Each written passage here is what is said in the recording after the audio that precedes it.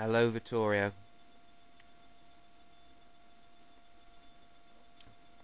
There's something I don't understand. I don't understand why you're getting praise from your fellow Muslims. They should be jumping on you like a ton of bricks. For embarrassing Islam, for one, and for making them appear, in the eyes of those who know better, to be fools. When they praise you for making these ridiculous points, they're simply exposing their stupidity to the rest of us. Honestly, they should be ashamed of you. Absolutely and complete. They should be furious with you for making them appear so stupid to the rest of us.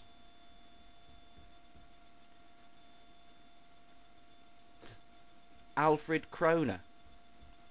Is it is that right? Yeah, Dr. Alfred Kroner. Obviously I searched him before because I'd never heard of him. There's 200 books behind me on science. I've never heard of the guy. But then again, geology's not my my thing, so I wouldn't necessarily expect to. So, I searched him. I came up with uh, the name of a fictitious character in a 1939 gangster movie and a recipient of the Knight's Cross from the German army in, I believe, the Second World War. There's nothing else. He hasn't even got a Wikipedia entry. The only entries he's got is under Islamic science sites.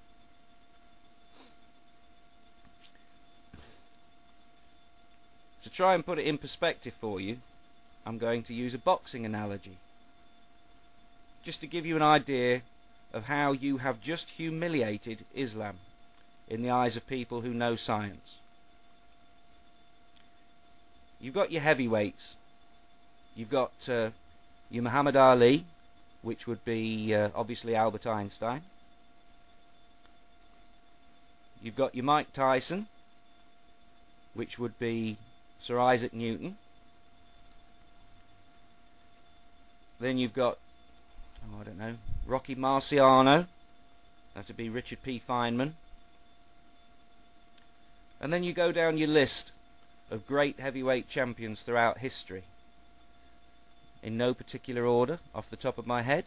Um, Erwin Schrödinger, Niels Bohr, Max Planck, James Clerk Maxwell, Michael Faraday.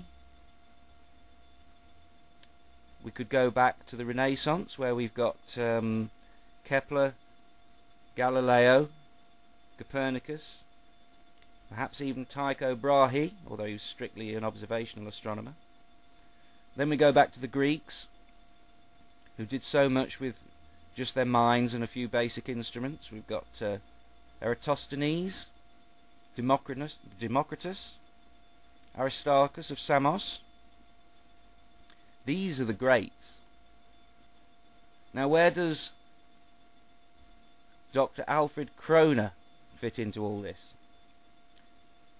In keeping with the boxing analogy, the prize fighter that you brought into the ring against all of the heavyweights is the equivalent of a 16 year old boy who's barely fit to carry the gum shield for the Accrington Stanley amateur silver medalist in the flyweight division. Absolutely unbelievable that you would call him renowned. If the subject were not the truth, it would be hysterically funny. You have brought into the ring your, your latest prize fighter to come up against Albert Bullbreaker Einstein. And what you've brought in is a cardboard cutout. And you're leaning on his shoulder proudly, as if to say, this is, the, this is going to be the next world champion. Kroner is not fit to talk about nuclear physics. He's a geologist. And he's not a very good one because he refers to the Ice Age as the Snow Age. He gets, and forgive my bad pronunciation of this because geology is not my thing, but I do research, you see. He gets the Pleistocene and the Carboniferous eras mixed up. He says that the ice caps are steadily moving south towards Arabia, when in fact, as we all know, they're shrinking at an alarming rate. This guy is barely a scientist. If you search him on the internet, all you'll find is references to him with his with Islamic science sites. He's nowhere on the science radar. He is nothing. And for to say that it's in some sense miraculous that Muhammad could have guessed that the uh, the universe and the earth had a similar origin, well, that makes Hinduism more miraculous because in the Rig Veda it mentions a similar point of a mutual origin. So,